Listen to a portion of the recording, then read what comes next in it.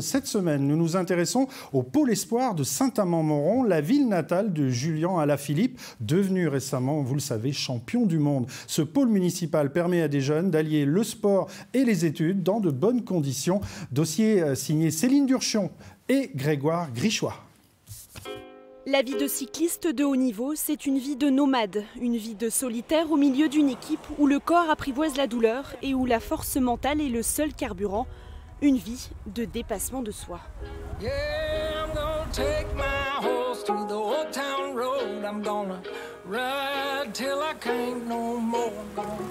Pour ces jeunes du pôle espoir cyclisme, il faut jongler entre les entraînements et les cours au lycée.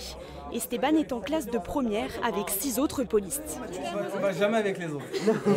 Pourquoi? Vous restez toujours entre vous? Parce qu'il y en a qui disent qu'on est une secte.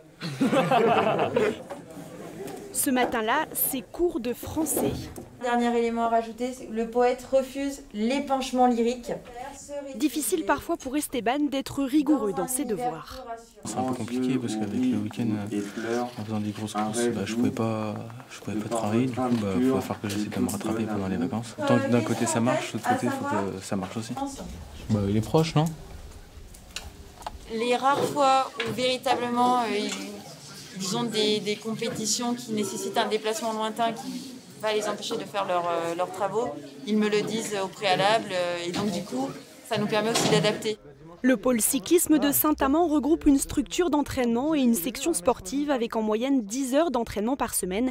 Cette section permet de réaliser le double projet scolaire et sportif dans de bonnes conditions. C'est pas toujours facile parce qu'effectivement, ils ont euh, ils ont un gros programme de compétition. Alors, il y a des périodes plus euh, compliquées, c'est les périodes compétitives.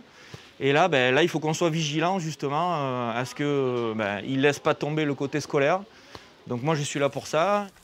Esteban a essayé plusieurs sports, du badminton au tir à l'arc en passant par le basket et l'athlétisme. Mais il opte finalement pour la petite reine et c'est devant la plus prestigieuse des courses qu'il a une révélation. Ça m'est pris en regardant le Tour de France en 2016. Je regardais et ça m'a fait rêver, voir les coureurs, euh, le peloton, enfin la, course, ça m'a fait vraiment rêver. Donc bah, j'ai commencé en 2017 et depuis, bah, je n'arrête pas, je continue, euh, je fonce. Originaire de Châteauroux, il a fait le choix d'intégrer le pôle, quitte à s'éloigner de sa famille. Pas toujours évident pour ce jeune de 16 ans. Les premières semaines ont été dures, mais bon, après, au fur et à mesure, je me suis habitué. Et euh, maintenant, euh, ça le fait, enfin, c'est devenu normal. Des fois, par rapport à mes frères et sœurs, c'est pas forcément juste. Mais euh, heureusement que, entre guillemets, j'ai mes parents et même mes frères et sœurs qui me soutiennent parce que je pense que sans ça, j'aurais pas fait la saison que j'ai fait, fait cette année.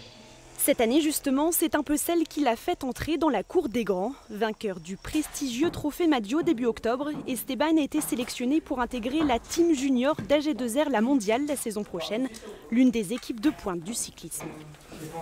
Il reste beaucoup de travail pour réussir à, passer professionnel, mais bon, si j'y arrive pas, j'aimerais quand même rester dans, le monde du, cyclisme, soit en étant euh, dans une équipe professionnelle ou mécano dans un magasin. Enfin, c'est ce qui me passionne vraiment, la mécanique sur le vélo, je, suis passionné par ça aussi. Donc Quentin, vous serez, euh, c'est ton groupe qui sera en premier Plusieurs cyclistes professionnels comme Marc Sarro ou Romain Combeau sont passés par le pôle espoir de Saint-Amand.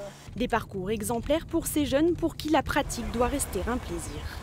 On est un sport d'endurance et un, sport qui demande beaucoup d'heures d'entraînement pour, euh, pour réussir. Après, euh, dans leur, dans leur catégorie d'âge là, il faut que ça reste du plaisir et non un sacrifice. Le 24 octobre prochain, Esteban sera en lice au championnat de France. Un avenir qui s'écrira peut-être déjà en bleu-blanc-rouge pour celui qui aurait tort de ne pas croire en sa bonne étoile.